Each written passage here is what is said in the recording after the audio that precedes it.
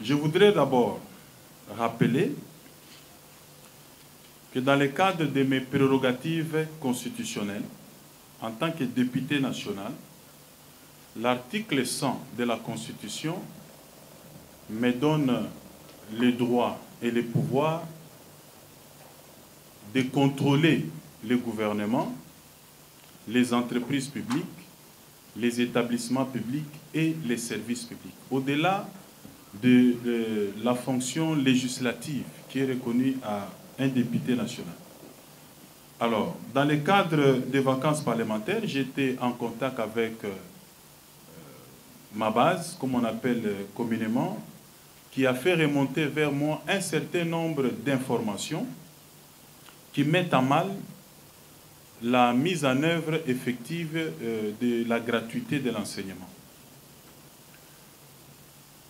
J'ai fait une question écrite, j'ai adressé au ministre de l'EPST. Je peux vous assurer qu'alors que le règlement intérieur prévoit, je crois dans les 3-4 jours, euh, l'Assemblée nationale doit notifier la question au ministre intéressé qui a 10 jours pour répondre, mais ça fait plus de deux mois que j'attendais la réponse. Mais entre-temps, je ne pouvais pas euh, laisser la question se diluer dans cette lenteur-là, euh, qui peut être justifiée par des obstacles politiques que vous pouvez imaginer. Euh, pour des raisons d'efficacité, j'ai préféré changer le fusil d'épaule. En date du 2 mars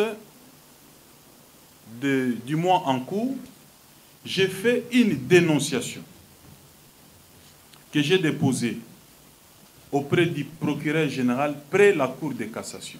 J'insiste, j'ai fait une dénonciation. Dans cette dénonciation, pour les juristes, j'ai porté à la connaissance du procureur général un certain nombre d'informations que j'avais reçues pour lui permettre de mener des investigations, établir la lumière et éventuellement les responsabilités des uns et des autres. Et cette dénonciation ne visait même pas les ministres de l'EPST. J'ai beaucoup plus parlé d'ailleurs parce que les informations que j'avais tournées autour du service de contrôle et de paix des enseignants, euh, les services de CECOP, où, où, où, on nous a fait savoir qu'il y avait euh, des enseignants fictifs, les détournements des fonds destinés à la paix des enseignants. Alors, on est limité par rapport au pouvoir d'investigation. J'ai dit les procureurs généraux pouvaient le faire et nous donner toute la lumière. Ce n'était pas une plainte déposée contre les ministres, mais curieusement, et contre toute attente, juste après le dépôt de la dénonciation, j'ai fait un déplacement à l'intérieur pour, dans le cadre de mes enseignements. J'ai commencé à recevoir des informations. J'ai suivi aussi personnellement que les ministres s'étaient déployés dans la presse. Et ces lieutenants, un groupe de gens qu'on appelle aujourd'hui communicateurs, qui se sont emparés de la situation pour vilipender ma démarche et me vilipender moi-même dans les médias et sur les réseaux sociaux.